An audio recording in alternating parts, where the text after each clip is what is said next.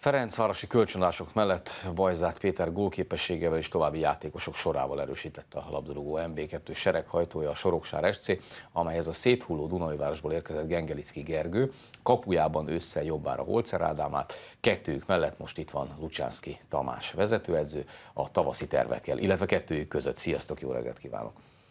Tamás, a télen mindenképpen erősítésre szorult a csapat, induljunk ki ebből, igaz? Úgy tűnik, hogy hát ezt, a, ezt, ezt nagyon komolyan gondoltátok.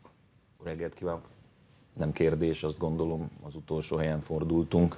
Senki nem örül ennek, nyilvánvalóan erősítésre szorultunk a tava, vagy az őszi eredmények alapján. Elemeztétek, te ugye menet közben vetted át a csapatot, tehát nem tudsz az egész őszért ilyen értelemben felelősséget vállalni edzőként, de hogy miért volt ez ilyen harmatos erre? Mi volt a magyarázat végül is a télen eddig? Végig nem gondolva. keresnék, azt uh-huh. gondolom, visszafelé már nem szeretnék tekinteni, tekintettel arra is, ahogy említetted, hogy nem a teljes szezonért vagyok felelős. Én, én azt gondolom, hogy, hogy a klubnál ettől most sem tudunk eltérni sajnos, de itt most már kényszerbe vagyunk.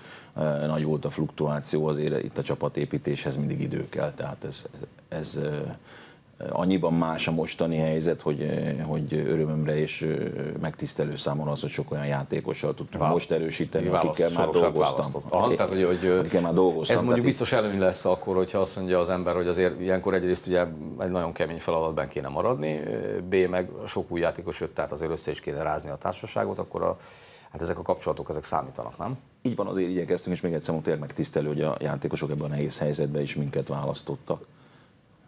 No, mi lehet ennek a soroksának az előnye tavasszal, urak, mit gondoltok?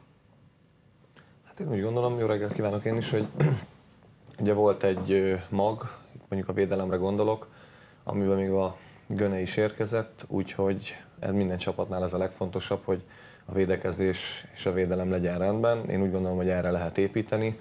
Ez szerintem a legfontosabb szempont a tavasszal, legyünk stabilak, ne ússzanak el a meccsek akár már az elején, tehát akár a 90. percben is tudunk majd meccset nyerni, úgyhogy én, én mindenképpen bizakodó vagyok, az erősítések is jól sikerültek, szerintem ez egy megoldható feladat még ilyen hátrányból is. Hogyha már említetted ugye a hátsó alakzatot, de hát végül is ilyen szempontból nem ez volt a, a, a gyengéje a csapatnak, nem? Nem, ősszel is úgy gondolom, hogy a, a védekezéssel rendben voltunk, inkább a támadó játék 14 voltam, meccsen 17 gól, az azért nem olyan rettenetes, úgy lesz. Nem rettenetes, de kevesebbet kellett volna kapni, és akkor még jobban. Ja, igen, az a másik. Na most azt nézzük egy kicsit, hogyha már itt szóba került, hogy ismerettségek a, a vezetőedző megtiszteltetésnek érzi, aztán persze ugye Dunajvárosban meg voltak problémák, de hogy miért igazol az ember soroksára?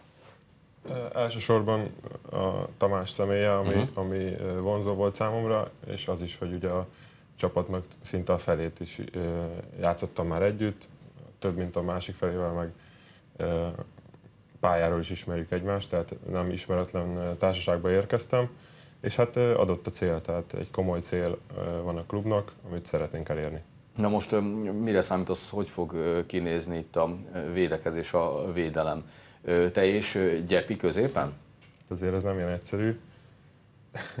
Meg kell harcolni természetesen azért, hogy játszunk ahogy ön is mondta, ősszel már ez működött, tehát nekem egy olyan rendszerbe kell belépnem, ami, ami már működött. Azt, Ezért azt kell tovább erősíteni kicsit, igaz? Reméljük, igen. No, hát hogyha már itt azt nézzük, hogy milyen játék stílust meg, meg egyáltalán hadrendet lehet várni a soroksártól, akkor ebbe lesz-e valamilyen változás itt érkező emberekkel, a csapat helyzetéből fakadóan Tamás, hogyan tervezel? Az, az őszi pár mérkőzésen, amikor játszottunk, akkor egy elég érdekes hadrend, a dél-amerikai csapatok játszanak hasonlóba, abba próbálkoztunk, ez a dologgal, annak kényszerűség volt, mert nem volt elől olyan játékosunk, aki éket tudott volna játszani, most ezen változtattunk egy kicsit, de szerettem volna két, ezt meg szerettem volna tartani, de egyenlőre ezt még ki se tudtuk próbálni, hiszen vannak sérültjeink elől, úgyhogy egyenlőre most egy kicsit változtatunk ezen. Világos, tehát most akkor tavasszal nem egy ilyen mini San Lorenzo-ra, vagy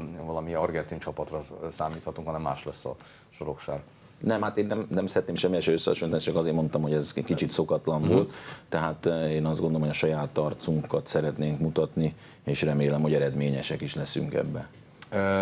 Bajzát Péter érkezésével nyilván könnyebb lesz vele. Hány gól jött? Hány gólnak kellett hát, jönnie? Ugye én elkényeztetett helyzetben vagyok, azt tudom mondani, amikor a Péterrel dolgoztunk együtt, akkor azt lehet mondani, hogy mérkőzésenként egyet tudott nekem szállítani. Ez, ezzel most is elégedett. Ezzel, ezzel most is elégedettek. Sajnos ő most sérült hosszú ideje, de reméljük, hogy minél előbb hadra fogható lesz. Hogy alakult eddig a felkészülés? Most már olyan, az összeszokás olyan sok idő nincsen, mert ugye Szolnokon majd indul a pontszerzés, vagy hát lehetőség szerint a pontszerzés. Hát így van, ebben reménykedünk, hétvégén Szolnokon kezdünk. Én úgy gondolom, hogy az edzőmeccsek többségén voltak biztató jelek, de hát amit Tamás is említett, hogy a sérülések miatt nem igazán lehetett a, a végleges hadrendet, a végleges keretet próbálgatni, vagy illetve a végleges kezdőcsapatot. Azt tudom mondani, amit az előbb is mondtam, én nagyon bizakodó vagyok. A Bajzát személyében tényleg gólerős játékos érkezett, reméljük hamarosan felépül. Úgyhogy én remélem, hogy rendben leszünk a tavasszal. Hát és szállítja azt a fordulónkénti egyet, amit ugye a múlt alapján el lehet várni. Kívülről, de ismerve a csapat jó részét, így beszállva a felkészülés alapján milyennek látszanak a jelek így kezdés előtt? Én a Mátraházi edzőtábor után tudtam csatlakozni a kerethez, de most ugye Törökországban voltunk tíz napot, és nekem az a tapasztalatom, hogy egy nagyon jó csapat gyűlt össze, tehát mint emberek is. A pályán is, tehát négy edzőmeccsből kettőt, az első és az utolsó, én úgy gondolom, hogy az nagyon jól sikerült, és az, az egy jó alap lehet szerintem a bajnokságra. Na most, hogyha Tamás csak papíron hasonlítjuk össze az átalakulásokkal együtt, mert nyilván azért a, valamennyire a riválisokra is figyelni kell, hogy milyen erős lehet ez a soroksár. Sokan, én is azok között azt mondom, hogy szerintem ez nem egy kieső csapat, és nem is kellene annak lennie. Akkor most mennyire biztatóak jelleg, hova lehet helyezni a, a gárdát a mezőnyben? Ugye én, én optimista vagyok, mindenki erősödött természetesen, de mi is. Itt elsősorban nyilván azon a felfogáson kell változtatnunk, ami, ami e, ugye önbizalmat is eredményez, tehát ezen dolgoztunk, hogy a, a felfogása változon a csapatnak, és akkor én azt gondolom, hogy akkor, akkor nem lehet gondunk. Azt azért tudni kell, hogy nekünk minden mérkőzésen nagyon nagyot kell hajtani, nagyon jó formába kell futballozunk, és még szerencse is kell hozzá, tehát ez így van. Viszont ha kívülállóként nézem a klubot, akkor pedig azt mondom, hogy a klubnak MB2-ben van a helye, tehát olyan körülmények és olyan feltételek vannak biztosítva a játékosoknak is, és nekem is, hogy el kell, hogy érjük közösen ezt a célkitűzést.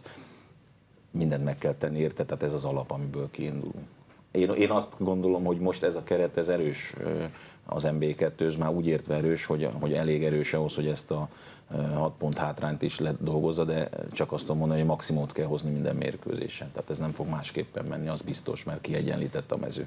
De most de egyébként, hogyha az ember számolgat, meg nézi, hogy mennyire sűrű a mezőny, akkor, akkor jó, utolsó helyen áll a csapat, behozza a hátrányt, hogyha minden jól megy, ahogy ti szeretnétek, de az akár meddig érhetünk, az, az, az, annak mi a vége, hogyha minden jól menne ebbe a mezőnybe? Hát, ha minden jól megy, szerzünk 45 pontot. Á, jó, az Igen, az egy... 57 ponttal egész jól fogunk kinézni.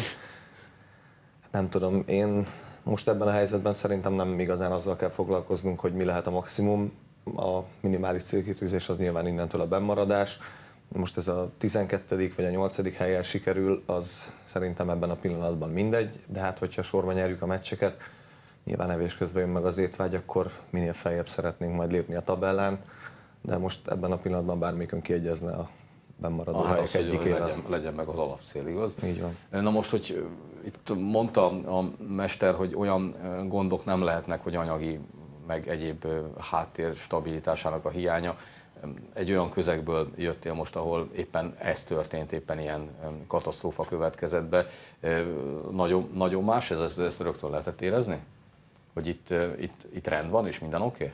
Okay? Igen, már ezelőtt is, tehát már nyáron is beszéltem én a Szűcs Misivel, uh-huh. akkor is tudtam, hogy Soroksáron minden rendben van. Szó volt akkor is róla, akkor hoztam egy döntést, most így utólag kiderült, hogy rossz döntés volt. Hát de sikerült korrigálni, nem? De hát igen. Uh-huh. Na most, és akkor egy kicsit lehet azt mondani, hogy a, nem tudom, a légkör hasonlít a, vajon a ülői útihoz, egy kicsit ez ilyen fiú, mini fradi. Hogyha most is a kölcsönbe érkezőket is nézzük, nem? Hát igen. Ö, nem tudom, hogy most jelenleg az ülőt milyen a légkör, de hát gondolom ott tabellából kiindulva biztos rendben mennek a dolgok. Ha csak a háttérrel foglalkozunk, akkor, akkor azt gondolom, hogy kicsibe ez is hasonlít rá, tehát tényleg nincs a panaszra, minden feltételt megteremtenek a vezetők, úgyhogy nekünk csak azzal kell foglalkozni, hogy pontokat szerezzük. Hát ehhez, ha így veszük, hasonlítunk egy picit a Fradihoz. Játékban meg ősszel dönthetlent játszottunk velük, úgyhogy nem vagyunk nagyon lemaradva. És a végén Tamás, hogy kérdezzem, hogy így pontszámban kalkulálsz tehát nyilván azért kell számolgatni, nem? Mennyit kellene összeszedni? Majd a végén, tehát mindig azt szoktam mondani, hogy a 29. fordulóig nem nagyon van értelme számolgatni, addig egyszer egy mérkőzést szeretnénk megnyerni, nekem mindig ez volt a hitvallásom, itt, itt se tudok mást mondani, egyszer egy lépcsőfokot lépjünk át, tehát most nyilván a következő mérkőzés a legfontosabb, esetben ugye a, a szolnok, hogy pontszámba hova érünk, ezt, ezt nem tudom, de miután nem egy nap alatt jutottunk el ide, nem is fogjuk tudni egy mérkőzése vagy egy nap alatt megoldani, és azért eh, kicsit ilyen optimistának érzem a, a közeget felénk, ugye, hogy jól sikerültek a, az átigazolások, de hát ez egyenlőre csak papíron van így, tehát ez még a játékosoknak is, és nekem is bizonyítani kell, és ezt úgy szeretném, ha egy-egy mérkőzést vennénk mindig gorcső alá, tehát mindig a következő állomás lenne az, és akkor szerintem akkor nem lehet gondunk. Hát ez, ez is egyfajta mérnöki tervezés, igen. Köszönöm szépen, hogy és jó munkát hozzá. Köszönjük, Köszönjük szépen. szépen.